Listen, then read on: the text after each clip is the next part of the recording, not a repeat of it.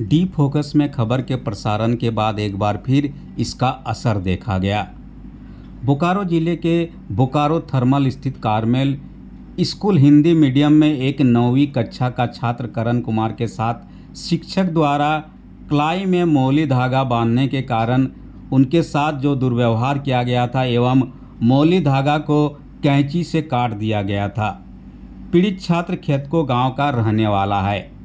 घटना की सूचना पीड़ित छात्र ने अपने परिजनों को दी। उसके बाद सूचना मिलने के बाद छात्र के परिवार वालों के साथ साथ विश्व हिंदू परिषद एवं बजरंग दल के दर्जनों कार्यकर्ता विद्यालय पहुँचे और उनकी तरफ़ से वहाँ इस मामले को लेकर विरोध जताया गया।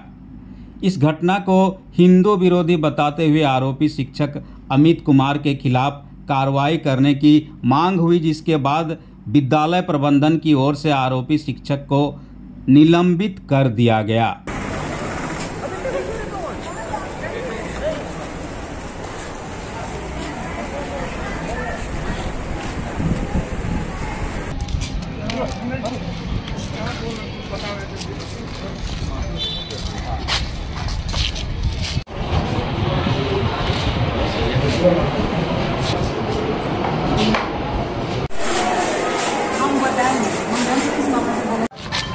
एक रुक एक, एक मिनट क्लास लीडर बोले कि धागा खोलने के लिए और हम नहीं खोले।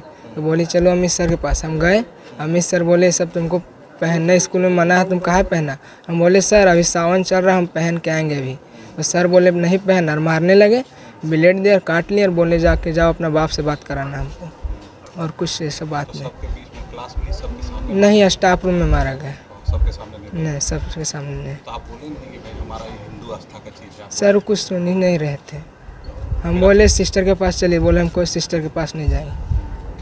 और मारने तो लगे ऐसा सब बच्चा पहन के आता है कि खाली आप ही पहन के आए। सब बच्चा पहन के आता लेकिन सबका कटवा दिया गया। उसी दिन? उसी दिन नहीं बहुत पहले ही। मैंने सबके साथ ऐसा करता सबके साथ ऐसा होता है। आपको खराब लगा? अभी क्या बोली मैडम? अभी बोले ऐसा अब नहीं होगा। और स- मतलब टीचर का सस्पेंडर हो तो मन इस मौके पर वहाँ पर मौजूद विश्व हिंदू परिषद के धनबाद जोन के विभागीय मंत्री विनय कुमार ने बताया कि कॉर्मेल स्कूल प्रबंधन के यह जो मामला है यह बेहद ही निंदनीय है। सिर्फ़ कलाई में मोली धागा पहनने के कारण छात्र के साथ दुर्व्यवहार किया जाना यह बेहद गलत संकेत है। आचार्य महोदय से जो बात हुई सबसे पहले तो अपने गलती को स्वीकारा। लेकिन यह जो आप लोग हम लोग मौली धागा बांधते हैं उसको वो लोग ने विषय को विषांतरण करने के लिए बैंड और ये क्या क्या कह कर के ये हमारा ड्रेस कोड में नहीं है इस तरह से नहीं होता है। तो और बच, बच्चों के ड्रेस कोड को संबंधित ये हवाला देने लगी। तो मैंने एक ही चीज़ कहा ये हमारा ये बैंड नहीं है ये एक मौली धागा जो होता है ये कलावा हम लोग का होता है। ये हम लोग का आस्था का एक विषय है। और इसमें अगर इसमें आप लोग हस्तक्षेप करते हैं तो उचित नहीं है क्योंकि आप लोग बच्चों के लिए सारा तय कर कर रखा है और शिक्षकों के लिए और अपने लिए क्या तैयार कर रखा है? इतना बड़ा बड़ा आप लोग ईसाइत और क्रॉस वगैरह सारा लटका हुआ है, कोई जवाब नहीं मिला। लेकिन करण के विषय में यह बात आश्वासन के रूप में मिला कि अगले वो जो शिक्षक थे अमित लकड़ा, उनको उन्होंने तत्काल सस्पेंड किया है और आगे से करण के साथ कोई दुर्भावना विद्यालय प्रबंधन नहीं रखेगा, यह रिटेन में अपने को मिला है।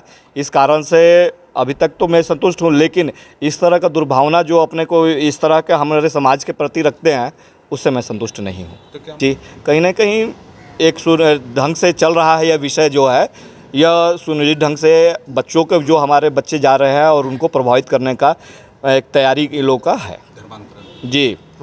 धर्मांतरण को धर्मांतरण के लिए मानसिक रूप से मानसिक रूप से तैयार हैं ये लोग। क्यों ना कहीं कहीं इनको मनोबल तोड़ा जाए और ये विषय पर आगे बढ़े। मामले को लेकर विद्यालय के प्राचार्या ने खुद सामने आकर माफ़ी मांग ली है। परिवार के साथ जो भी समस्याएँ थी उसका समाधान करने के लिए मैंने उनके माता पिता और अभिभावकों से मिला।